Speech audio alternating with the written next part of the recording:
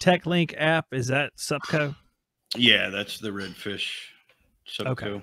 So you still use the redfish meter? Yeah. Okay. I got the Fieldpiece, um, the SC six eighty, I think it was. Yeah, the Philippines fish bat. That's right. Um, and it's a great meter, but it doesn't tie into TechLink.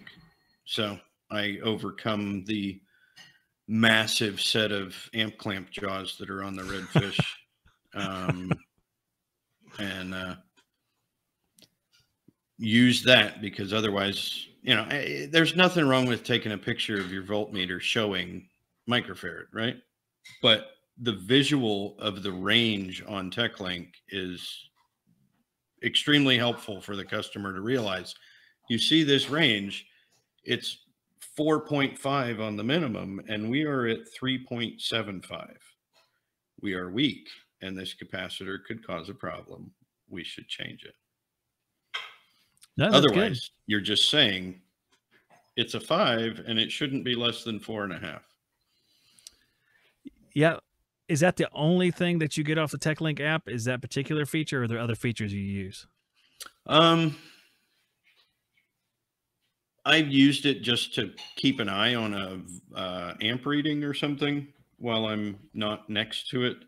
The Bluetooth isn't amazing. Actually, the Fieldpiece is way better, um, as we know, um, for the wireless range. Um, Yeah. but it's nice to be able to see a r- measurement remotely while you're making an adjustment or something. Um, but yeah, the screenshots is almost entirely what we do primarily for the TechLink app. Um, Um, the Fieldpiece, the SC680, it's also a power meter, right? Yeah. You can get power factor and stuff. Now, is that something that you do a lot of? Is get the uh, like, do you do efficiency or EER, EER, mhm. ER one or whatever it's called? I don't know if there's a second EER now. I just know there's SEER two, but so you do get that information because I Yeah. always thought that was really interesting and actually fun to do. Yeah. Although part of me knows that some of it may not be as constructive Right. as I would like to think it was. But is that a every maintenance sort of thing as well?